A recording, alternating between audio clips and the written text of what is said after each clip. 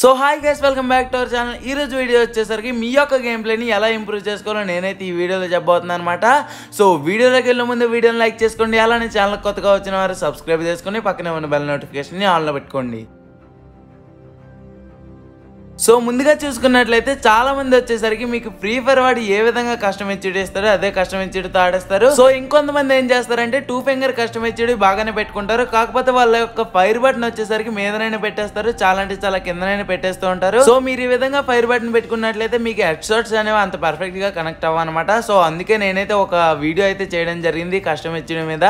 So ఆ video ఒకసారి చూడండి. నేను ఏ విధంగా నా యొక్క కష్టం హెచ్డి పెట్టుకున్నాను. సో గైస్ నెక్స్ట్ మీరు ఇక్కడ చూసుకున్నట్లయితే క్విక్ రీలోడ్ హెడ్సెట్ అనమాట క్విక్ రీలోడ్తో వన్ టైప్ అనే కాదు యూఎంపీతో కూడా హెడ్సెట్ అయితే కొట్టచ్చు అనమాట సో మీరు ఇక్కడ చూసుకున్నట్లయితే చాలా మంది ఏం చేస్తారంటే ఈ విధంగా హెడ్సెట్ అనేది కొడదామని ట్రై చేస్తూ ఉంటారు. సో మీరు ఈ విధంగా ఆడినట్లయితే మీ యొక్క మూమెంట్ స్పీడ్ అనేది అంత పర్ఫెక్ట్గా ఉండదు. ఎనిమిది వచ్చేసరికి మీకు చాలా అంటే చాలా ఈజీగా హెడ్సెట్ అయితే కొట్టేస్తారనమాట సో నేను చెప్పిన టిప్స్ కనుక మీరు ఫాలో అయినట్లయితే చాలా అంటే చాలా ఈజీగా హెడ్షాట్స్ అనేవి కొట్టేయగలరు. అలానే మీరు ఎక్కడ స్కిప్ చేయకుండా చూసినట్లయితే చాలా అంటే చాలా బాధమవుతుంది అనమాట సో మీకైతే ఇంకో విషయం చెప్పాలి గైస్ మీకు స్టాక్ లో చెప్పిన టిప్స్ అలానే చెప్పబోయే టిప్స్ ఒకేసారి చేయాలన్నమాట. కాకపోతే మీకు క్లారిటీగా అర్థం అవ్వాలని నేనైతే ఈ విధంగా చేయడం జరిగింది. సో గైస్ మీరు ఇక్కడ చూసుకున్నట్లయితే ఇద్దరు ఎనిమిస్కి పర్ఫెక్ట్గా వన్ టైప్ హెడ్ షాట్ అయితే కొట్టడం జరిగింది అనమాట క్విక్ రీలోడ్ యూస్ చేస్తూ.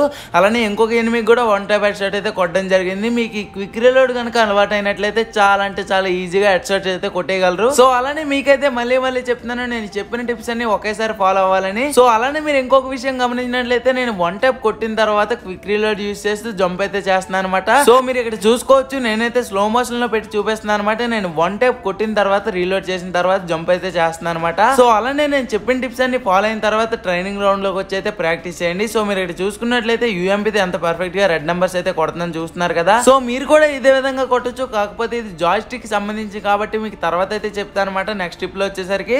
సో అలానే ఇంకొక విషయం వచ్చేసరికి మీరు ఎంపీ ఫైవ్ కానీ యూఎంపీ కానీ యూజ్ చేసేటప్పుడు ఇలా మీరు కవర్ ఫైట్ ఆడుతూ యూజ్ చేయండి. కాకపోతే మీరు అప్పుడు క్విక్ రీలోడ్ యూజ్ చేయని అవసరం లేదు. సో మీరు క్విక్ రీలోడ్ వచ్చేసరికి మీరు డిజర్ట్ టేగర్ కానీ ఎం ఫైవ్ హండ్రెడ్ కానీ మార్క్స్మెన్ రీఫిల్స్ కానీ ఇవి వాడేటప్పుడు మాక్సిమం యూజ్ చేయడానికి ట్రై చేయండి. సో అలానే ఈ గన్స్ ఎందుకు యూజ్ చేయమని అంటే ఇవి వచ్చేసరికి చాలా అంటే చాలా ఫాస్ట్గా రీలోడ్ అవుతాయని నేనైతే ఇవి యూజ్ చేయమన్నాను అనమాట సో ఇది గైస్ ఈ యొక్క టిప్ వచ్చేసరికి టిప్ మీకు నచ్చింది అనుకుంటున్నాను. ఇక లేట్ చేయకుండా నెక్స్ట్ టిప్లోకి అయితే వెళ్ళిపోదాం. సో గైస్ నెక్స్ట్ వచ్చేసరికి క్విక్ వెపన్ స్విచ్ అనమాట దీనికోసం చాలా వీడియోలో చెప్పడం జరిగింది. కాకపోతే తెలియని వారు ఎవరైనా ఉంటే వాళ్ళ కోసం అయితే చెప్తున్నాను అనమాట సో ఇది వచ్చేసరికి టూ ఫింగర్స్ వాళ్ళు కూడా చాలా అంటే చాలా ఈజీగా నేర్చుకోగలరు. కాకపోతే త్రీ ఫింగర్స్ వాడినట్లయితే మీ యొక్క మూమెంట్ స్పీడ్ అనేది ఇంకా పీక్స్లో ఉంటుంది అనమాట ఇంతకు ముందు నేను కూడా టూ ఫింగర్స్ ఉండేవాడిని. కాకపోతే ఇప్పుడు నేనైతే త్రీ ఫింగర్స్ షిఫ్ట్ అయిపోయాను అనమాట సో అలానే మీరు త్రీ ఫింగర్ మార్చుకున్నట్లయితే మీ యొక్క గేమ్ ప్లే వచ్చేసరికి చాలా అంటే చాలా బాగుంటుంది. అందుకే నేనైతే త్రీ ఫింగర్స్ పెట్టుకోమంటున్నాను. సో గైస్ అలానే ఇంకొక విషయం వచ్చేసరికి మీరు ఇక్కడ చూసుకున్నట్లయితే ఫైర్ చేస్తారు చాలా మంది వచ్చేసరికి. కాకపోతే వాళ్ళు వచ్చేసరికి గన్ స్లాట్ నుంచే పిస్ట్ అయితే తీసుకుంటారు. అలా తీసుకున్నట్లయితే మీ యొక్క మూమెంట్ స్పీడ్ అనేది చాలా అంటే చాలా డిక్రీజ్ అయిపోతుంది. సో అలానే ఇంకొక విషయం వచ్చేసరికి చాలా మంది ఏం చేస్తారంటే ఫైర్ చేస్తారు ఫిష్ చేతిలోకి తీసుకోరు అనమాట అలా తీసుకోకపోయినట్లయితే మీ యొక్క ఎయిమ్ వచ్చేసరికి అలానే ఉండిపోతుంది. మీరు కూడా అంత పర్ఫెక్ట్గా కదలలేరనమాట సో అందుకే నేను చెప్పిన విధంగా క్విక్ రీలోడ్ కానీ క్విక్ వెపన్ స్విచ్ కానీ నేర్చుకున్నట్లయితే చాలా అంటే చాలా ఈజీగా ఎనిమికి అయితే వన్ టైప్ కొట్టేయగలరు అనమాట అవతల ఎనిమి మూమెంట్లో ఉన్నా కూడా మీరైతే చాలా అంటే చాలా ఈజీగా వన్ టైప్ అయితే కొట్టేయగలరు. సో అలానే మీరు ఇక్కడ చూసుకున్నట్లయితే మీకోసం నేనైతే టూ ఫింగర్స్ ఆడుతున్నాను అనమాట సో టూ ఫింగర్స్లో కూడా మీరైతే వన్ టైప్ చాలా అంటే చాలా ఈజీగా కొట్టేయగలరు. కాకపోతే మీరు క్విక్ వెపన్ స్విచ్ ఒక్కటి యాడ్ చేసుకున్నట్లయితే సరిపోతుంది.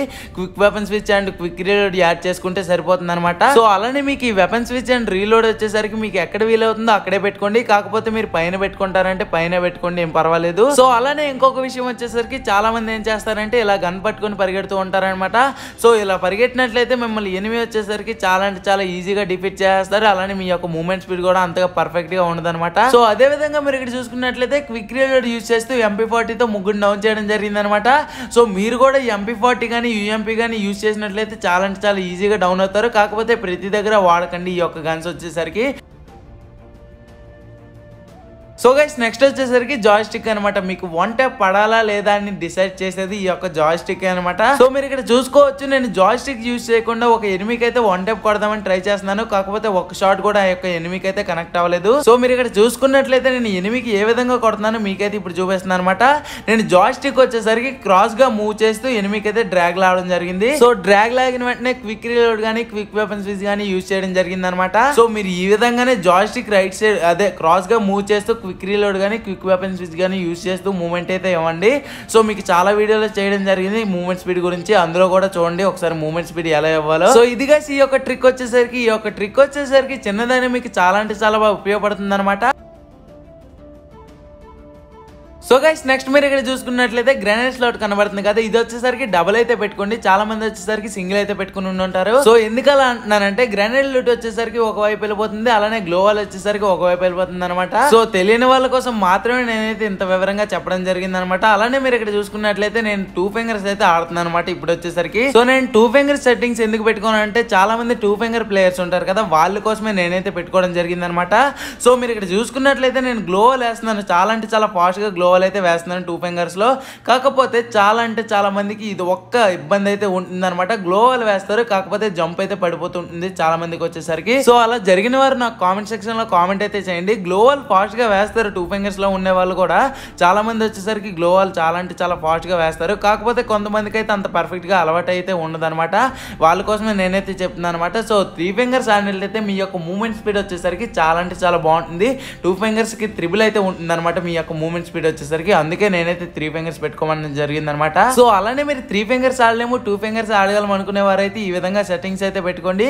కాకపోతే మీరు లెఫ్ట్ ఫైర్ బటన్ అలానే క్విక్ వెపన్ స్విచ్ అలానే క్విక్ రీలోడ్ వచ్చేసరికి మీకు నచ్చిన విధంగా పెట్టుకోండి. సో అలానే మీరు ఇక్కడ చూసుకున్నట్లయితే ఎనిమిది కొట్టిన వెంటనే నేను ఎంత ఫాస్ట్గా గ్లోవల్ వేసాను మీరు ఇక్కడ చూస్తున్నారు కదా మీకు ఒక వీడియోలో అయితే చెప్పడం జరిగింది గ్లోవల్ టిప్స్ అండ్ ట్రిక్స్ వచ్చేసరికి మీరు ఆ వీడియో చూసినట్లయితే మీకు చాలా అంటే చాలా పర్ఫెక్ట్గా అర్థమవుతుంది అనమాట సో గైస్ అలానే ఈ యొక్క గ్లోవల్ టిప్స్ అండ్ ట్రిక్స్ యొక్క లింక్ వచ్చేసరికి మీకు డిస్క్రిప్షన్లో ఇస్తాను. సో వీ వీడియో వచ్చేసరికి మీరు చూసినట్లయితే చాలా అంటే చాలా బాగా అర్థమవుతుంది అనమాట సో ఇది ఈరోజు వీడియో వచ్చేసరికి వీడియో నచ్చినట్లయితే లైక్ చేయండి అలానే ఛానల్ కొత్తగా వచ్చిన వారు సబ్స్క్రైబ్ చేసుకుని పక్కనే ఉన్న బెల్ నోటిఫికేషన్ని ఆన్లో పెట్టుకోండి. సో మళ్ళీ ఒక ఇంట్రెస్టింగ్ అనే వీడియోతో కలుద్దాం. Bye friends